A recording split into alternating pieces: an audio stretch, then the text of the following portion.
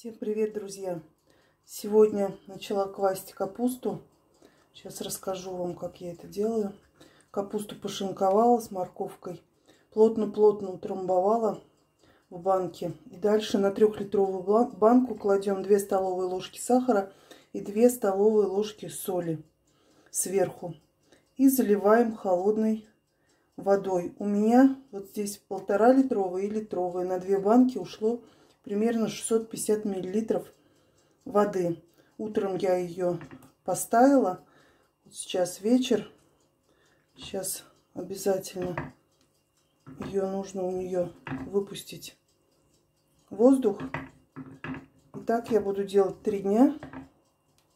Утром и вечером. Такой шпажкой, можно ножом.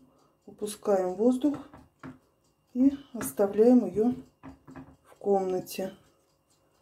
Вода вытекает, поэтому тарелку поставила. Потом эту воду будем сюда подливать. Прикрываю крышкой. Ну, не до конца оставляю. Все. В субботу утром я ее сделала. Во вторник утром она будет готова. Очень вкусная, хрустящая капустка.